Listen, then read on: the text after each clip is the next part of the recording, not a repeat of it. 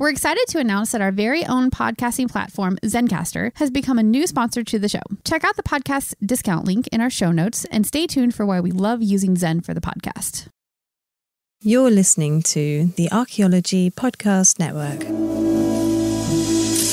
This is the CRM Archaeology Podcast. It's the show where we pull back the veil of cultural resources management archaeology and discuss the issues that everyone is concerned about. Welcome to the podcast.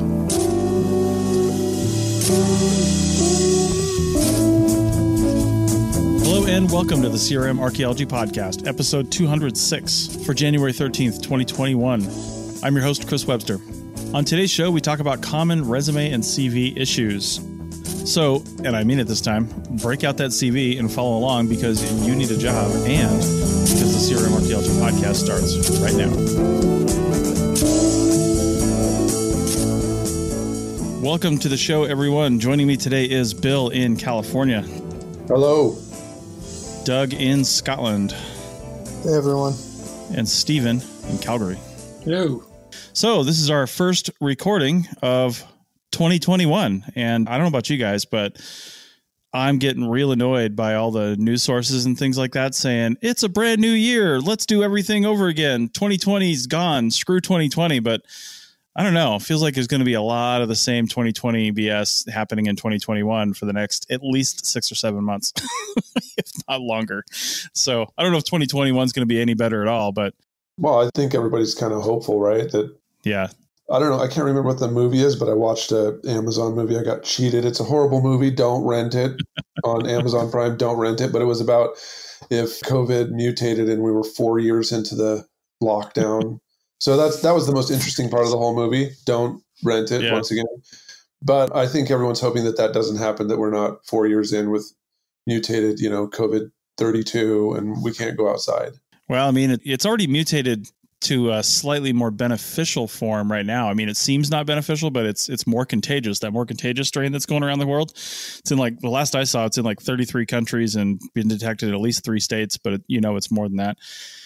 But I was talking to my brother-in-law, who's a physician's assistant at Mount Sinai in Manhattan, and he said that the data that they've seen says that yeah, it it is highly contagious. It's way more contagious than the original strain, but as with all evolution, it lost something, right? It, it evolved to be more efficient, but lost a little bit of its efficacy, which means what they're seeing in some patients is that the symptoms are actually way less, even in even in problem patients, people with pre-existing conditions and stuff like that. The symptoms are a little bit less. Doesn't mean it's still potentially not going to kill you, but you know that's i guess a bright side to that so if more people got it because it's more highly contagious maybe more antigens will be out there and we'll get a little better herd immunity combined with the vaccine might be able to knock it out with its own evolution but Well, I keep hoping that it was the the conjunction of Saturn and Jupiter that all gave us special powers is what it really is. That it gave us special powers to Yeah. fight against, you know, illness, but also gave us special powers to attract money. And that the next time you log into your bank account app, you're going to see that it's totally loaded, much more than two thousand dollars that they can't even pass, more than the six hundred. We're talking like off the charts. So, you know, I'm hoping Nice. that it's the conjunction. That's what I want. None of us get hurt by COVID anymore, and we all attract money like magnets. I don't know, guys. I kind of feel like this is like, you know how they like they, they market stuff to women where it's basically the same thing only in pink. I kind of feel like mm-hmm. people are marketing like 2021 like that. It's like it's like 2020, only there's a one in it. like you know somehow that's going to make a difference. yeah Like- yeah You know long term trends and stuff. I don't mean this to be like negative or anything, but like. I, I would actually hope that like, right. people are, are starting to address the more long term stuff that like it's not just a pandemic, but there's a lot of systematic stuff that America almost finished as a democracy like two months ago. Well, technically, Yeah. it might finish on Tuesday. Is it when they decide to override the votes of of everyone who who voted?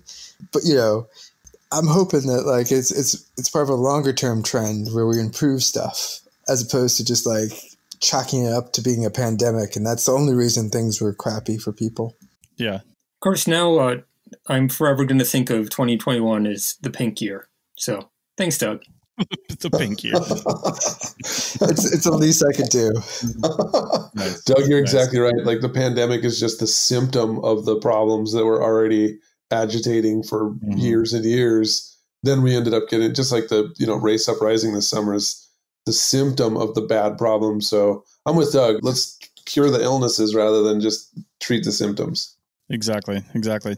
And hey, I, I didn't intend to bring this up, but you know, Bill, you mentioned the conjunction of Jupiter and Saturn, so it made me think of space. And I saw an article this morning talking about a book from a, I think he's a Harvard professor in astronomy. So he sounds like a, a credible guy, but he has written a book about what he thinks is is reporting as the first verifiable alien technology that has entered our solar system and it was back in 2017 an object i remember hearing something about this object. It was long and skinny very long and skinny which is not a natural type of shape which is one of their clues. He thinks it's the smoking gun really that defines it. That and the fact that it was accelerating when it should have been decelerating away from the sun because it kind of went around the sun and stuff like that. But he thinks it was some kind of alien object. He doesn't really know much about it but he wrote a book that's coming out at the end of this month about that and i'm like well you know you guys, there's really one way to tell whether or not an alien object has visited this solar system. Did they build any pyramids? Right? Because that's what aliens do when they come to this world is they build pyramids. Is that not true? Chris, bad, Chris, bad joke. Bad, like, Are there any new oh gosh. pyramids? Oh that's my that's like dad level jokes. Yeah. I feel like aliens would build pyramids because that's the you know like like universal byproduct of gravity, right? So it doesn't matter if Right. humans built it or aliens built it; it's still going to be a pyramid. Right. I, I guess. Yeah. There you go. But there you go. hold on, hold on. They also let's not forget aliens built like Stonehenge and Uh-huh. this- true. that's that's not natural shape. No, no. They definitely built that. Yeah. And Nazca lines. I mean, there's a cat there. I mean, that's not a natural shape.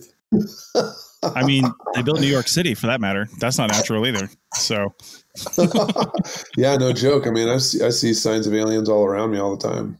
I don't know. I also see signs of, of talking about space when we were talking about Apple products, Star Trek, because sometimes Mhm. it does seem like we're in an episode of the next generation. However, not as cool and taking much longer than the you know sixty minutes that it used to take. Yeah. Anyway, so we're going to proceed on this episode, but this being the first episode of 2021, I wanted to just report a few stats on the podcast because I think it's I think it's interesting, and we haven't had this level of statistics before, which is why I have never done this in the uh, near nine year history of this podcast. Because we we joined a new hosting platform. It's going to be two years in April, so but really kind of the end of April when we really kicked it off, and that hosting platform has allowed us to have a lot better metrics and data about our shows uh, and tell us a little more about you know where where people are listening and how long they're listening and how much you're listening and things like that.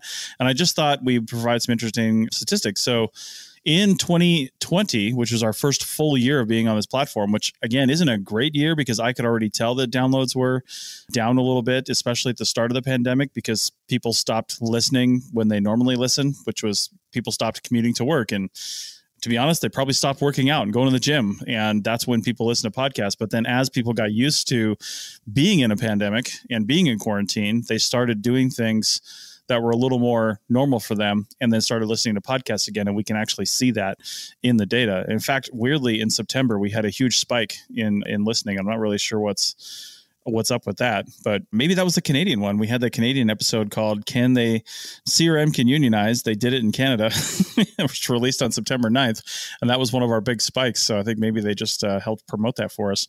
But we had a total of 16381 downloads in 2020 for this podcast and if you're curious we had about I think it was 430 or 440,000 um, across the whole Archaeology Podcast Network. So that's pretty cool. And our most listened to episode, or most downloaded episode, I should say, was the NEPA 2020 episode with Tom King, episode 190 that we released in May, May 20th of 2020. So that's pretty cool. And our second most downloaded episode was A New Decade for CRM Archaeology, episode 180, released January 1st, 2020. We were so optimistic about the new decade starting, and then the world went to hell. So, yeah, interesting stats. It'll be interesting to see what happens next year when we have, I would assume, a more regular year, although nothing's going to be regular about 2021, as we just said. So, who knows? I was just noticing. I think those are all episodes I wasn't on, which kind of hurts a little bit. The ego, ego's a little bit bruised on that one. No, see, the numbers are inflated because you only listen to the ones you're not on, right? So we got an extra boost on us. oh, man. All right. Well, as we mentioned, I think in the last episode, we had to kind of pivot a little bit for the last episode because we had some connection issues with our guest. However, we still can't get that guest on. This time it's just scheduling. Uh, well, we're just moving past that, but we're still going to talk about what we had intended to talk about two weeks ago, which is resume. The guest actually sent us their resume, and we're not going to mention who it is, no names, no anything like that, of course, but we're going to use this as an example to, to, to first give some pointers on this particular resume and then talk about different types of resumes and CVs and and things like that. And you know just just in general how to how to make these things better because it's 2021 it's january. And if you aren't spending the winter at least part of the winter taking all your experience from the year you probably should have already done this but now's a good time if you haven't. Revamping your cv writing some new resumes getting your cover letters ready and getting ready to get out there and get some work for the spring and fall. Now this particular one that we were sent I'm actually not sure if it's it says it's a CV, so we'll go with that. It's pretty short. That doesn't mean anything, but CVs are typically for people who are more established in the field. They can get longer and longer and longer. But let's just talk about this one as it stands. And I think I'll just kick it off, Doug, unless you want to comment on this before I do that. Yeah, it was just to say that the person was looking for jobs in the UK and in America. So ah. In the UK, they call a CV basically what we would call a resume. So okay. Um, and I think you'd also caught some stuff where like there was different spelling of artifact with an e instead of an i, and that's you know that's just like another pointer we could we can mention as well, and maybe toss something over to to uh, Stephen because I think Canadian English is somewhat like a hybrid between like American and British English, and so yeah, there's those little things that people need to adapt their CV to the country they're planning to work in or resume, CV slash resume. But when I guess we should just clarify, we're talking about the short two pages that most people send in, not your full career length, 20 pages of work sort of stuff. Yeah, Canadian English is termingly mid Atlantic. So some things they go the US way, some things they go the British way. So you can't really pick one and run with it. Although, generally, if you do like American spelling, but then just add used to everything, it's going to be fine. Oh, and the E comes after the R. That's all you really need. Yes, that that is nice. so true. So true. Well, I, I think the takeaway though is to play to your audience, right? So if you're looking for jobs in the UK, have a UK version of your resume. You know what I mean? Um, I mean, send that UK version to the UK audience, send the US version to the US audience, and send the Canadian version to the Canadian audience. I mean, if you're if you're not sure of what that means, like if I were to send my CV over to somebody in the UK, it would not be the UK version because I don't know how to make a UK version of my CV, right? And if I thought that maybe that was going to cause me to not get a job because I spelled artifacts with an I instead of an E, then you know, maybe I would probably run this by somebody like Doug, who's been there a while, or somebody else. Hey, David Connolly would be a good one. Send it over to him and say, hey, what do you think about this? Would somebody reject this because they didn't use local, you know, uh, methods of spelling for your, you know, for the language over here? So it's the same thing as if you were trying to get a job in, you know, Mexico or something like that, you'd probably want to have your CV in Spanish and have a thorough understanding of the language, right? So that's no different when you're talking about a, a dialect of a language, I would say. Again, I don't think it's a deal breaker, but it's just something that popped out to me and would make me I don't know. It's just one of those things that just sticks in your head. Like again, it's not a deal breaker, but it it makes you stick out, and I'm not sure if that's a good way or in a, in a bad way. And anytime you stick out, you want to stick out in a good way. I think uh, one exception to that is if their job is, I don't know, color coordinator of artifacts or whatever, mm-hmm. and it was in the UK, you know, and, and, so like color was spelled in the British manner, then mm-hmm. I would keep that because that's the job title, right?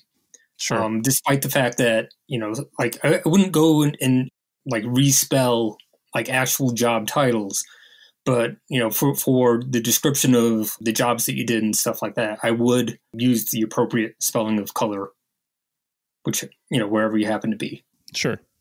Yeah, I think, and this is probably going to be just a general advice to everyone who's listening, is someone once described this, and if you don't do fishing, I'm not sure if it's a better description, but they described like putting together a resume and a CV or, you know, applying for jobs is a bit like fishing, where, you know, you're, you're throwing out different sort of lures. You could be in the exact same spot fishing, you know, exact same time of the year. And, you know, you have to use like a different lure. And they sort of described like the resume as a different lure. And you try different things. And sometimes you get bites and sometimes you don't. And I think generally, I, I personally find it super annoying people's policing of spelling and language, but there are going to be people who are going to care about that. And you're applying to a job where you don't have that you, you're not going to be able to make that decision of who's reviewing your your application and you you're kind of hoping that they're not going to be you know a grammar nazi of some sort or a spelling nazi but you can't control that. And if they are, that could cost you the job. So I think, well, while I encourage anyone who's listening not to be that person, there are those people out there, and you probably have to put together a sort of spotless one. And then, you know, this goes back to like just just give people heads up if you're American trying to come over to the UK. I mean, that's a whole different thing about trying to get visas and stuff. But yeah, they get very uppity about how you spell archaeology as well. So like some people get really intense about like how people spell words and I, I've known people who would just like trash resumes and just like throw them away and be like, oh, this person spelled archaeology wrong. They don't know what they're talking about. And it's like, yeah, dude, it's not that big of a deal. But if you if you're applying, yeah, you can't really take that risk. You you kind of have to try everything in the book and you know it, it may not work but you don't want to be that as chris was saying you don't want to have stick out for a negative reason. You only want to stick out for a positive reason. Yeah. All right. Well that is a good place to end this segment and we'll pick it up on the other side and continue talking about issues with all resumes and CVs that we've seen and using this specific one as an example back in a minute. Chris Webster here for the Archaeology Podcast Network. We strive for high quality interviews and content so you can find information on any topic in archaeology from around the world. One way we do that is by recording interviews with our hosts and guests located in many parts of the world all at once. We do that through the use of Zencastr. That's Z E N C A S T R. Zencastr allows us to record high quality audio with no stress on the guest. Just send them a link to click on and that's it. Zencastr does the rest. They even do automatic transcriptions. Check out the link in the show notes for 30% off your first three months or go to zencastr.com and use the code CRMARC. Looking to expand your knowledge of x rays and imaging in the archaeology field? Then check out An Introduction to Paleoradiography, a short online course offering professional training for archaeologists and affiliated disciplines. Created by archaeologist, radiographer, and lecturer James Elliott, the content of this course is based upon his research and teaching experience in higher education. It is approved by the Chartered Institute for Archaeologists as four hours of training. That's in the UK, for those of you that don't know. So don't miss out on this exciting opportunity for professional and personal development. For more information on pricing, and course structure, visit paleoimaging.com. That's P A L E O imaging.com and look for the link in the show notes to this episode. Welcome back to the CRMR podcast, episode 206, and we are talking about resumes and CVs. And we're getting ready to talk about a good example here a little later on, which over the break brought up an interesting issue that we need to talk about. Doug. Yeah, so it's just also to mention if you're applying for different countries, paper size is actually different in different countries. So, well, actually, I should probably say it's pretty much probably America versus everywhere else. Because everywhere else is probably on the A system, which is divisions of one meters. So, like, yeah, paper, like a typical A4 is not the same as what you'd get on your typical printer page in the United States. Uh, mm-hmm. So if you are sending in resumes to different countries, one of them being the United States and one being somewhere else, and they're like, only send two pages, or you have formatting of some sort that like specific, so it looks good. You know, you have certain words and it doesn't break a- across certain pages. Definitely check where you're sending it to and what the page size should be. because if not, you, you, you might have the perfect formatting and then it gets sent over and they open up a, a Word doc and it does not look good at all because, you know, things got bumped around and stuff. So it's just a, a quick warning. Most everywhere else uses the A size papers. A4 is the sort of standard. It's all metric, but you want to be careful about that because uh, uh, mm-hmm. we were just, Stephen and I, uh, Bill had sent us a document and Stephen and I were like, oh, it's it's not on one page, even though it says it should be on one page, and that's how we sort of figured it out. Yeah, yeah it's it's just a, a, heads up for people who are thinking about going to different countries, even in North America. If you jump up to Canada, that's right. No, okay, actually, Canada still uses the American paper sizes. So oh, it does. Is that all of Canada? This is this is just a fluke of software, which I will jump on and kind of call Doug out on on one thing that he said that I strongly disagree with. Never send a Word document. Yes. Um, always, always, if it's something that doesn't need to get edited, it should mm-hmm. be a PDF because you should lock in the formatting and the layout and, and everything like that. It, Word will shift things if you open it on a different machine. It'll it'll break uh, if you're using styles and you should be using styles. It'll break styles if you open it on a different machine it's a quick route to just messing up your CV or your resume when you really don't want like you want good formatting. So make it good formatting and turn it into PDF. And and that way, regardless of who you send it to, they can open it and see it because PDF is a pretty standard file format. Yeah. Yeah. Also, that reminds me fonts as well because if you do a PDF, usually it may not store the fonts correctly when you copy and paste, but it'll usually have the image correct. So you could, if you have decided on some sort of font, it'll work, especially if you're going between like say a Mac and a, a PC or something like that with a Word doc. Gosh, mm-hmm. so many fonts that are on like Mac you can't get on Word and vice versa. And again, that will really screw up any of your formatting. Well, and you have no way to know who, the person who's opening your CV or resume, like what they're using, right? I mean, you have no way to know that. So they, they may not even be using anything. Maybe they're importing it into a Google Doc and it's converting it. I mean, who knows, right? So or I'm on a Mac. Maybe I'm going to open it in Pages, and Pages will automatically convert the Word document, and it's going to blow everything up.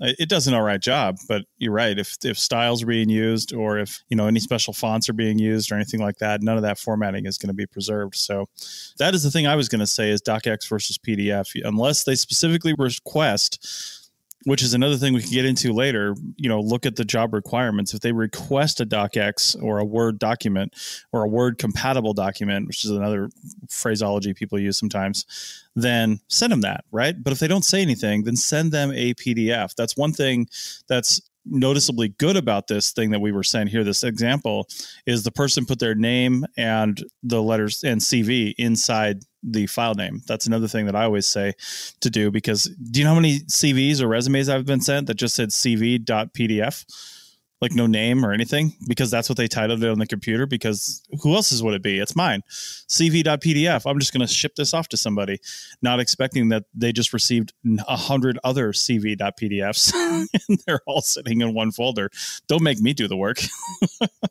Uh, same for job title. Include the job title because yeah. a lot of sometimes job adverts will be like we're looking for technician crew chief project officer yeah. and you, would be surprised how often like CV, CVs get thrown into the wrong folder for the wrong job. Yeah. Um, or resumes or whatever. And then they're looking at it and they're like, you don't have enough experience for this. Straight into the, mm-hmm. into the tr- trash for that when actually you were applying for the tech job. that's right. That's right.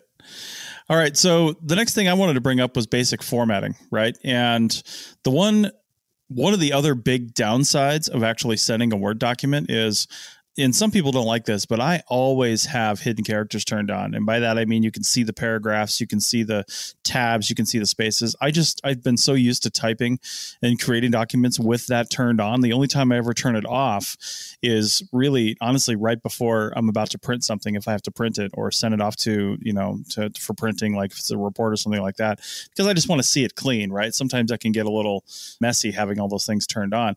But when I opened up this CV that we were sent, or resume rather, all that stuff is turned on and it immediately tells me some things about the author's skill level with Microsoft Word or whatever word processing program that they used because a few things I'll note right off the bat there's there's a few bulleted sections at the top. We've got general and specific skills and then achievements and the bullets are not indented. Like the bullets are right out at the same register level as the beginning of the headings general skills, specific skills and achievements.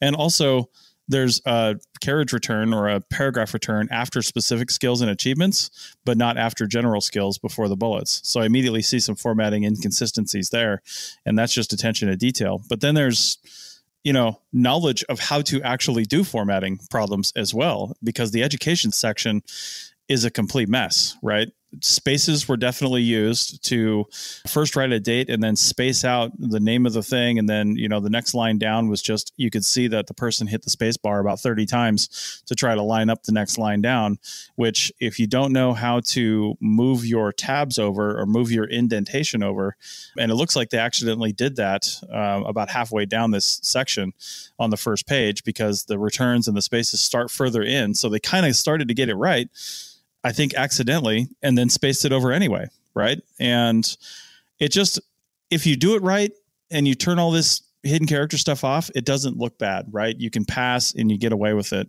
But it tells me right away that this person doesn't know how to quickly format their document. And when I'm having somebody write a report and they're doing table after table after table of data and different things, you know, if they're spending an extra minute or an extra two minutes or an extra three minutes on something and they're doing it many times a day, many times a year, well, how many hours is that costing me? Right. As an employer, how many hours is that costing me because you don't know how to do this? I, sure, I could go teach somebody how to do that, but how many other things do I have to teach you if you don't know these basic things about, you know, formatting? And to me, in 2021, this is basic formatting. We actually talked about this on the Archaeotech podcast for basic skills you need to be a human and an employee these days. And I'm sorry, but Microsoft Word or word processing skills this is this is basic. Tabs, setting tabs is basic. Fight me on that, Bill. No, I, I absolutely agree. And also that's, you know, what, you, so there's a couple of things going on here. We're talking about creating a document in one formatting system, basically one software package, and then transferring it to another one. And sometimes in the translation, there's stuff that messes up. Like if you use Google Docs, which I mean, we use Google Docs for better or for worse and then we have to turn it into Microsoft Word to get a PDF, or we have to turn it from Google Docs into PDF. And like every time we're translating it, if you have any of those kind of formatting things, like you need to know how to handle that. And Microsoft yeah. Word is the basic software we're using to create documents. I mean, it's somehow cornered the market. When I first started, there was WordPerfect, which was, you know, I think better in a lot of ways than Microsoft Word, but it takes mm-hmm. a while to learn how to use that one. If you have an Apple and you're using Pages, it takes a while for you to learn how to use Pages. And then, you know, PDF, if you actually spend the money and you have Acrobat, and you're actually formatting things in Acrobat, or if you've even stepped it up to the higher level InDesign, which I would really hope that one day we're all using InDesign like all of the time. But then again, a lot of the word processing stuff that happens in Microsoft Word, I don't really see that happening in InDesign. Any which way, all three of those things are transferable skills and marketable skills way beyond archaeology, right? So if you know, you're looking at, and, and like Chris said, I always have the, I always am able to see the symbols. I'm always able to see the formatting too. That's how I write. When I open things up, that's just how it automatically appears. And that's the same exact thing that I see when I looked at this one. But what's even more important than that is I never even downloaded this until you said something about it because I don't take the time to download it. Like we're yeah. seriously spending seconds a day on something that's like someone's, you know, major life decision here. So if it's not, if it doesn't look great in whatever file type, like if I try to open this thing in pages and it won't work or something like that, you know, that, that's a huge problem because we're not going to really spend the time to download stuff. We're not going to, you know, a lot of times people are looking at stuff on their phone. If you met them at a conference or something like that, you send them an email, they're looking at it on their phone. If it doesn't look good on all these different kinds of things, if it's not a responsive file type like PDF, all of that stuff hurts you. And every single tiny thing that we see that's you know something like you were saying every, anything that the employer sees that they have to make more of an investment in you that you're not actually ready to go do that kind of job or that kind of thing that all counts against you right it really does and and just looking at this right just looking at this again I, I, place a lot of emphasis on first impressions, and you know, the, because I think you can tell a lot from looking at something like this, or for I always use the example of looking at if I happen to see somebody's desk or their car, right? You look inside somebody's car or their desk or something like that. If it's an absolute trash pit and there's everything all over the place, well, something tells me that's how your brain is organized as well. Not very well. And are you going to be able to manage a project if that's what I'm hiring you for, right? Are you going to be able to manage even a field crew if you can't manage your own life and you can't keep things in order. And it comes down to my first impression. I don't even know who this person is, to be honest. Uh, I've barely even talked to them. So don't know anything about them except for what I'm seeing right here. And what I'm seeing right here is in a lack of attention to detail and, and, and just some, some poor formatting choices. Like they like they've, like they didn't take a look at this a second time after they put it together and said, you know what, that just looks a little weird to me. Like for example, the whole education section is bolded for some reason. I don't even know why. I think everything after the, edu- yeah education and employment experience, it's all bolded. The whole thing, including the title, and I it just baffles me as to why somebody would do that. But this kind of stuff I point out. Yeah, it was just to sort of take along that sort of theme of first impressions and I think mm-hmm. we should also mention is like how you write a resume or CV for your entry level jobs is not how you write one for your project manager or you know principal investigator. Those are completely two different CVs, and you should change how you do that. And and possibly we can get into a bit of you know in the United States is the resume and the CV, and the CV is like all your work. And at senior positions, you you probably are more likely to send in a CV but on your your entry level positions, it's going to be a resume. They're, I mean, one you're probably not going to have, you know, 20 pages of a CV, but if you do, they're not going to read it. It's, it's something like, mm-hmm. uh, you know, it, it depends on the year, but you know, a bad year, they might people will get 100 to 200 resumes come in within a couple of days of posting a job. You know, when there's no jobs out there and when you calculate the time, basically you have like 30 seconds to if to not spend you know to just keep down looking through like 200 resumes to like keep that to an hour and a half that's 30 seconds per resume you have to flip through. And so you know if it's an entry level job there's going to be a ton more people going for it and chances are the people are not going to spend much time on it. Whereas you know if it's a senior position you might have half a dozen people and yeah, you want to put in all your experience and really do. They're going to spend some time on it, but entry level, it should be quick, easy, one to two pages. They pro- might not even get to the second page, and when you have that, your first impression should be the very the first line should be your most critical information. Mm-hmm. And so for entry level positions, so in, in the UK, you should put down if you have a driver's license and a CSCS card. And the reason you have a you need to do that is because to work on construction sites, you need to have a CSCS card. It's tied in. You have to do a test for health and safety. It's not too applicable to archaeology, but the health and safety is something required to be on a construction site, and you're that's most of the jobs uh, is being on an active construction site. So you need to have that that card.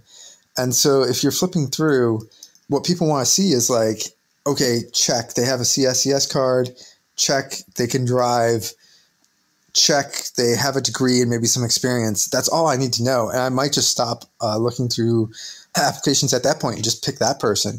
But you know it's it's finding those unique things to the areas. And that's going to be different for different countries and different parts of the country. So like as you head out west if you're going for like a crew chief job or project officer they're going to want to know are you blm permitted for that state and uh, uh, you know it's it varies, but you know there's usually regions within that state, and that's what you want to put. So like if you're going for probably help even as a tech position, but if you're going for a crew chief, your first line is going to want to be is I am BLM permitted in Nevada for Actually, Chris, you'll know this more than I, I do. I could say for New Mexico, I'd be like, you know, Yeah. uh, Northwest and Northeast. And, you know, and that means that I could lead a, a, a team on my own on federal, well, not just, it's BLM land, but that's most of the land.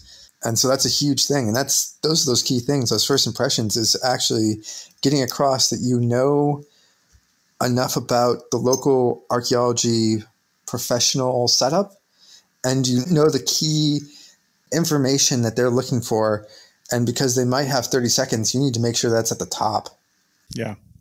That's good. And I want to talk a little bit more about formatting in the third segment about, you know, what should be included and not, but that's that stuff's gold. And you know, it comes down to stuff like just just to wrap up this segment, like the BLM permitting thing. You know, if you're if you're not if you're looking for a BLM job, like if that's where you're applying, then definitely if you're doing a resume, highlight that fact, right? Highlight that on there, like Doug said. But if you're not trying to get a BLM job, if you're working on, I don't know, if the project is on some other land, maybe it's on U.S. Forest Service land, they could really give a damn that you have a BLM permit, right? Now, it might be important if you're looking for an upper level job that if you're BLM permittable, and you have to say that too, understand the language. You don't actually have a BLM permit unless you're an employer, right? If you have a BLM permit, you're an employer. you're on somebody else's permit or you're permittable for prehistoric and historic resources in different areas or across the state or whatever the case may be. So permittable, you have to get the language down. And again, that could be important if you're working on a project on Forest Service land. If maybe you're looking for an upper level position and they just want to know what kind of experience you have in the area, if you're permittable across the state for prehistoric and historic, well, that's important, even though they're not going to permit you. It's important to know that you could do that because that's the experience level that you have, right? and actually chris just to go back to that it's different for different states because in Yeah, new mexico sure. it's it's it's not with the employer it's actually with the individual you have to have 40 Sure. days of excavation 20 days 25 days of survey or at least you used to like a decade ago Nevada has the same requirements. You have to have your individual qualifications, but you don't actually get a permit. That's qualifications to be listed on someone else's permit, right? You don't get an excavation permit or a survey permit in Nevada. You get the ability to be listed on their permit at whatever level they're listing you at, but you still have to have individual qualifications. So, yeah, I mean, I don't know if it's exactly the same as New Mexico, but hey, let's finish this discussion on the other side though, because we've got a lot more to talk about on CVs and resumes. So let's do that. We'll come back and wrap this up. Back in a second. You may have heard my pitch for membership. It's a great idea and really helps out. However, you can also support us by picking up a fun t-shirt, sticker, or something from a large selection of items from our TeePublic store. Head over to archpodnet.com slash shop for a link. That's archpodnet.com slash shop to pick up some fun swag and support the show. All right, welcome back to the final segment of episode 206 of the CRM Archaeology Podcast. And Bill, we didn't get to you at the end of segment two there. So, what were your comments on that? Yeah, this is so writing a one page resume is a first assignment that I ask students to do in my classes. I ask them to do it if they work in my lab for sure because the uh, you know the idea is as they're doing their stuff there on campus and interacting with people and seeing you know guest speakers and stuff you need to be in a situation where you're constantly prepared to send you know something to a person who could possibly hire you. So it's important for you to have this kind of thing saved to your phone or saved to some kind of cloud server somewhere. Now in if you're actually applying to jobs and there's a job post you're going to model this one page resume to the specific job post. But if you're just, you know, if you need something to get you out there for certain kinds of positions, as was mentioned before, you know, being a crew chief or something higher, you're going to maybe have two pages, maybe even longer. If you're just going for an archaeological technician position, you're going to have, you know, a one pager. And then if you're going for these more higher up jobs, uh, if you're going for a postdoc or a professional, you're going to have a CV that's going to be the dumpster of everything you've ever done in your life that relates to archaeology. But the one thing that I tell folks when they're creating these is that they should think about the individual who's going to ultimately read this because you're going to be working for a human being. And, you know, as Doug was saying, they, they could have hundreds of resumes to look through. So you literally only have about 30 seconds and it needs to be all you know straightforward and, and set up specifically to there and what the what they're looking for everyone every person is concerned about how they care more about themselves and how you can benefit them than probably anything else. I mean, that's just how human beings are. And so yeah. when they're looking at your resume in the first couple of seconds, they want to see what do you know and what skills do you have and all that stuff that can help me with this job. And then in a field like archaeology, is there anything in this that might have a connection to another person I know? So that could be the thing. If they see that you worked on a project or you were, you know, in someone's lab or you took a class from a certain professor and you did some applied aspect of work, you know, even that could be something that would connect like, oh, I know that person. She's a great, you know, archaeologist. We have a great relationship. Maybe I'll just text her right now and ask, you know, should I hire Bill or should I, you know, check this person out? Right. So this thing goes beyond just, you know, kind of demonstrating what kind of an employee you are. It can actually go to much bigger levels of showing your your network and you know how embedded you are in archaeology. So it's it's key if there's a possible way for you to figure out who the hiring people are, who the people at the company are, to see if there's any kind of connection, any kind of regional specialty, any kind of, you know, university or hometown or state or something like that, that you know that they do work in that has a connection to your experience. Because, like I said, folks are concerned about themselves and they like to hire people who know about things that they know. So you know, I guess like attracts like in this case. And if you've got a connection through a university or a project or something like that, even that can be something that can help you get a job or get an interview. Yeah, just to riff off of uh, Bill, you know, if you're if you're starting out and you have no experience, try to do a field school in the area where you're going to work or would like to work. Mm-hmm. Yeah, because people will look at it and it's pretty common. You know, here in the UK, they'll they'll look at students and they'll be like Ooh, field school in Cyprus. They're not gonna. they're not gonna know British archaeology, and some people get quite uh, uppity about. You know, it needs to be like exactly in their state. You can't just do Southwest archaeology. You need to do that, and then also people like to think, like to relate to other people, and they'll look at it and see like, oh, they went to the same school I did never mind that we're like 30 years apart and probably didn't have the same professors and there's probably almost no connection whatsoever people will still hire people based on oh they went to this school it's a good school it's my school sort of thing. So yeah i mean if you can get local experience and you're going for local jobs do that even volunteering. If you can get volunteer experience that's going to look a lot better that it's some sort of local dig or you know local washing artifacts in a museum over than say a field school regardless of the quality. Like the field school could have been like top notch best in the world. It could have been run all by crm people but they'll look at it and be like peru that's not our archaeology. We want you know upstate new york and that that can cost you a little bit there as well. Right right so to follow up with what Doug was saying, well, first, if you can't get local experience, you know, try at least, and maybe this is more for a cover letter than the actual resume, but try, try at least that you can illustrate that you understand, you know, what the local archaeology is like that you're applying for, and try to make your experience somehow seem applicable. Like, right while I haven't actually done any work in this particular sort of ecoregion, I have worked in similar environments such as this, this, this. You know, and, and, and that way people will be like, oh, well, you know, they, they understand that this is a thing that we want them to do. And they have some experience that does apply. And, and so you're, you're kind of that sale. And, and it's a tough thing, right? But, but that's a good thing. And yeah expand that to a broader sense, make it clear that you know what you're applying for. And, and we kind of talked about that, like, you know, mentioning that you're applying for a tech position rather than, you know, the boss position or whatever. But, you know, specifically for regions, like, do you understand how the archaeology works? How does, you know, your experience and your skills apply to how the archaeology works in the place that you're applying? Even if you don't have specific experience, and, and in some cases, like with the permits, that that that that'll actually be an issue. But in other cases, if you're just going for a job and you're just going for an entry level job, particularly, you know, just saying that you understand what the job's like. You know, I know what a shovel test is. I understand that even though I did my field school in, in such and such other country, that I understand how the field work works in the particular state that I'm looking at And to that end, like if you're like, for, for the listeners, sort of like, how am I even supposed to know that if I haven't worked there? Most states and provinces have some sort of guidelines online that are available. And it's kind of the, state. I don't want to call them standards, but the, the guidelines of here's how the work happens here. Here's how we do it. Here's the various stages. Here are the phases, if, if you use phases or stages or whatever. You know, here's what we expect shovel testing intervals to be like.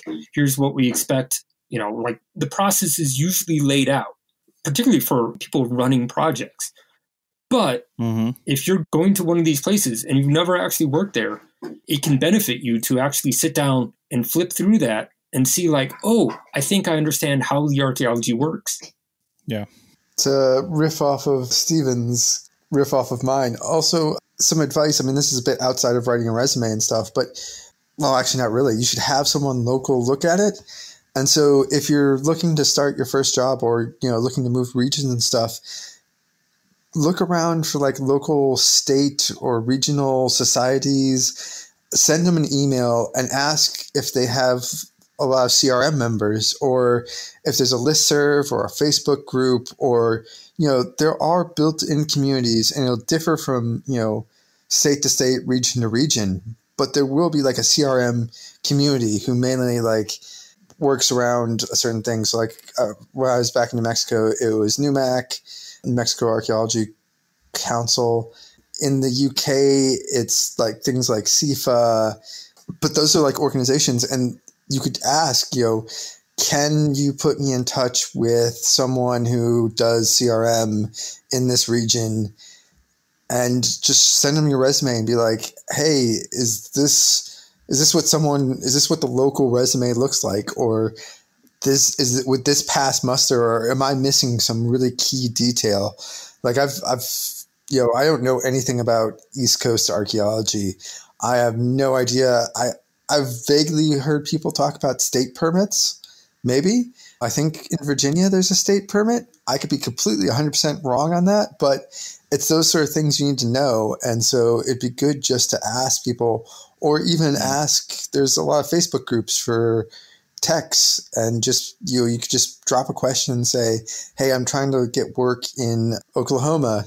Could someone have a look at my resume real quick and see if you know I'm completely off base?" If I'm talking about things that people don't even do in Oklahoma, Yeah.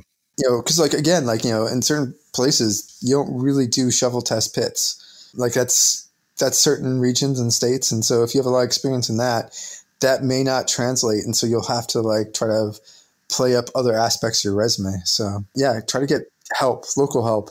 Yeah, and, and use social media to your benefit as well. You know, you, most people are probably on either Facebook or Twitter, and jump on there, see if there's anybody that will take a glance at your resume and and give you some pointers. I mean, the worst they'll say is no, right? But I've seen people put up that kind of stuff before on like the Archeo Field Techs group on Facebook, for example, and and I'm sure people do it on on Twitter as well. I just don't pay as much attention over there, but you know, put it in the local language. Just- just like we were starting this off at the very beginning. It's like, you know, if you've got language issues, it's also terminology issues, right? So if you're looking for a job in the Southwest and you've only ever worked in the Northeast, try to put that experience into context for the Southwest. So yeah, sure, I don't have, you know, experience right here working on Hohokam sites, but I do have experience doing this and this and this and this type of artifact analysis and things like that, which could translate to something beneficial over here. But you're really only going to get the ability to write that by talking to somebody and, and maybe running it past somebody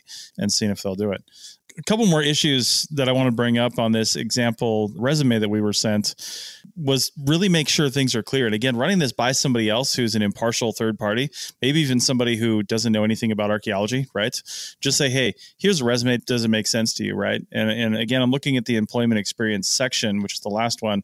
And there are some interesting formatting issues that I really didn't understand until I had to really kind of dial into it. And there's there's one line that has a date range and then the name of a company, right? And then below that, in the same font size and style, is a date range that I didn't realize at the beginning was within the first date range, and then it, it then is a job title, and then there's another date range, and then another job title, and then there, below that there's another date range, which is a completely different company. But those two date ranges that are after that first one are the things that this person did while at that one company and i didn't actually even realize that because because the formatting does not does not bear that out right it, i really had to kind of dig into it but to be honest if we weren't doing this podcast and i wasn't sitting here staring at this thing for an hour I wouldn't even have got past that. I would just been like, I my eyes can't even focus on this, and I need to just move on and and go to the next one. But I think I think the big takeaway for me on this is this person actually does have quite a bit of archaeological experience. And,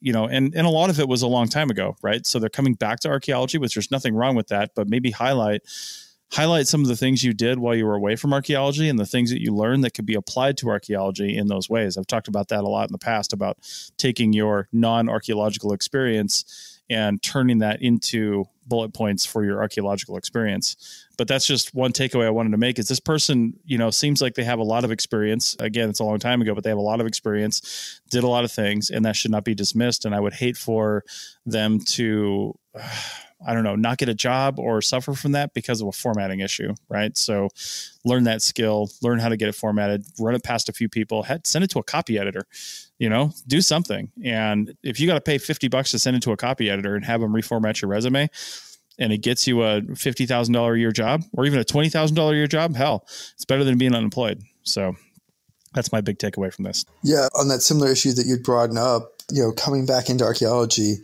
is all job experience is relevant experience. Actually, I shouldn't say relevant experience, but all experience you should put on on your resume or a CV. Mm-hmm. And it could even be as much as one line that just says, between these years, I worked as a cook, or I was a teacher, or, you know, I was something else. But if you have like massive gaps in your career or in your resume, people are going to wonder, gee, what did you do for 10 years? And it might be that, like, you know, you decide to have a family and then that's something you could put into your cover letter just to say, hey, you know, for 10 years there, I was watching the kids. and so I, I wasn't able to work. But after a couple of years, your resume gets really long and you don't need to put every single job if they're very similar. So if you've been a field tech for five years you've probably worked for I mean, on the lower end, it's going to be at least a dozen companies. On the higher end, maybe like fifty, and that's that's completely fine. Yeah, nature of the job. I mean, that's that's not even an employer every month and a half or so, which is pretty. You know, sometimes you can go through two employers or three employers in a single month on different projects. Mm-hmm. But uh, what I've seen people do, and it works really well, is you just say like, you know, I was a field tech and then you just list the companies and you say, or you know, if it gets too long, you say, you pull out the companies that are most relevant, like ones in that area or ones that you know have, are known to do good work, and you say, I've, you know, I did this position for these companies, dot dot dot, for I don't know, summer of 2011 and winter 2017, and then you talk about what you learned in those positions because you know, it's it's going to be fairly similar, and you could tailor that part, but you don't need to put in every single job once you start to get you know tons upon tons of jobs, especially in CRM where you you are going to move around a lot. People are going to start to glaze over when they see the same thing, but you can you can make a nice chunk, and you could do that for your other experience as well. So I usually put at the mm-hmm. end of it, I say, you know, I was in these years I was a, a cook worked at the university. I did public engagement for genetics. All the other jobs I did, I just do a quick list. And I just say, you know, there's that information. If you'd like me to provide more, I can. But really, it's actually just a list of I've worked for a bunch of other organizations, did a bunch of other jobs, not too relevant to this position, but it shows that I was working during that time and that I could hold down jobs. Yeah, good point. Yeah, I was encouraged to see this resume because it helped me realize a couple of things. Like basically it helped me realize that people who really want to do archaeology that's not going to go away if you get another job or do something else. You're still going to want to do archaeology. And I, have met you know a lot of folks who archaeology was not their career but they'd volunteered on a lot of sites. And so they maintained mm-hmm. their entire career doing something else you know financial planning or being a nurse or even you know a stay-at-home mom or stay-at-home dad. And they volunteer on a bunch of sites. And over the years they had so much experience that they were some of the most experienced people. But what this this resume shows me is that that dream of being an archaeologist doesn't go away just because you're doing another job or something like that. People who want to be archaeologists, they still want to do this, whether they're getting paid to do it or not. And so it was absolutely awesome to see this person who wants to come back into archaeology because it it kind of reaffirms to myself, yeah, I actually wouldn't be happier working at another place. I would have all those same concerns that I used to have working at other employers when I wanted to be an archaeologist. And if I went and did that again, I'd still have those again. Mm-hmm. Good point. Good point. So I think the big takeaway from this episode is, you know, when it comes down to resumes and CVs, know your audience first off, and then know the technology second. That's really what all this boils down to. Know who you're writing this resume or CV for, whether or not you even need a resume or a CV. Understand the differences between the two. And if you're in one country versus another, those terms could be interchangeable. Like I learned today, or at least remembered today. I don't know if I ever heard it before that, you know, a CV and resume terms are, are somewhat interchangeable over in the UK. So they, they mean very different things here in the United States. And you need to be aware of that. So, and at the very least, just ask ask questions. And and to be honest ask your employer. If you have the ability if you're not just responding to a ShovelBums post and you talk to somebody and they say yeah send me a send me a cv and it's like okay yeah well i did most of my work over in the in the uk and uh, when you say cv do you mean like all my work experience like uh, all 20 pages? Is that what you mean? And they'll say yeah, yeah yeah. Or no no we just need a one page you know that highlights your experience. They'll tell you that. I mean just ask right? They're not going to think less of you for doing that. In fact i would think more of a person for asking something like that. So, anyway, that's pretty much all we have time for. And I, I want to, you know, encourage other people to, I don't know, send us their resumes and CVs. Doug, do you have one last comment? Yeah, it's a it's a last uh, little fact. Apparently, it's only United States and Canada that use a non-metric inches. Everywhere else in the world, you're going to be sending in an A4. Though apparently, like Mexico and the Philippines, you could maybe get away with it. That was just from like our first segment uh, on page size. I, I, I picked Stephen, and like it's the only other country that happens to use the American letter size. Yeah, or like I said, you know, PDF. Just send them a PDF, and you don't have to worry about any sort of formatting. You know, isn't A4 longer, so you could actually get more detail on it if you wanted to to go ahead and reformat it to that. Yeah, it's why like in UK universities they usually do word counts instead of page counts. Uh, yeah, yeah. Good point. Good point. All right. Well, that's it, everybody. Again, uh, if if you want to send in yours, I've had people send in a CV and, and, resume to me just to take a look at. You know, do it like you would do a, uh, an employer too. I have had people hit me up on like Facebook Messenger or something and just drop a CV and say, "Can you take a look at this?" Like with no preamble. Hi, how you doing? Nothing like that. Like you're asking somebody to take time out of their day to do this. You know, just have a little tact when you're doing it. That's all I would ask. And, and same if you're sending it to anybody that you're going to have them take a look at. Just understand that they're taking time out of the day to do that for you. So, anyway, thanks a lot. And I'm glad we had this to talk about to kick off 2021. Hopefully, some people can get some good jobs out of it. And yeah, good luck with that. All right, back next time. That's it for another episode of the CRM Archaeology Podcast. Links to some of the items mentioned on the show are in the show notes for this podcast, which can be found at www.archpodnet.com slash crmarcpodcast. Please comment and share anywhere you see the show. If you'd like us to answer a question on a future episode, email us. Use the contact form on the website or just email chris at archaeologypodcastnetwork.com. Support the show and the network at archpodnet.com slash members. Get some swag and extra content while you're there. Send us show suggestions and interview suggestions. We want this to be a resource for field technicians everywhere, and we want to know what you want to know about. All right.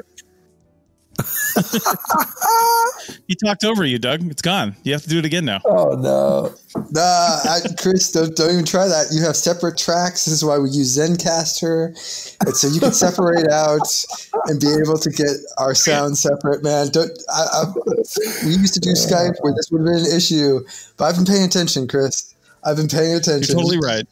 You you could take out Bill and keep my goodbye. also move that goodbye to the beginning of the show. I know I'm gonna have to do that because your goodbye is like floating out there in the ether now eh, from an editing standpoint because I've got to cut all this out.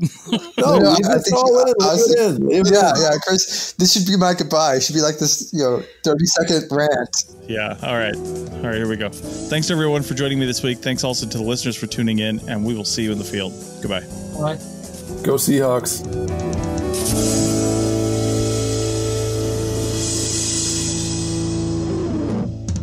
This episode was produced by Chris Webster from his RV Traveling America, Tristan Boyle in Scotland, and the Archaeology Podcast Network, and was edited by Rachel Roden. This has been a presentation of the Archaeology Podcast Network. Visit us on the web for show notes and other podcasts at www.archpodnet.com. Contact us at chris at archaeologypodcastnetwork.com. Thanks again for listening to this episode and for supporting the Archaeology Podcast Network. If you want these shows to keep going, consider becoming a member for just $7.99 US dollars a month.